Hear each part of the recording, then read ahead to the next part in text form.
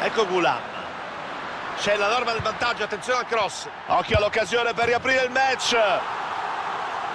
E c'è il gol, dimezzano lo svantaggio adesso tutto può succedere. C'è il tempo per farne un'altra e pareggiarla. Occhio però, eh, non concedere spazi dietro. Continua il volo che non lascia scampo al portiere, un gol bellissimo. Ha cercato la soluzione calciando di prima intenzione.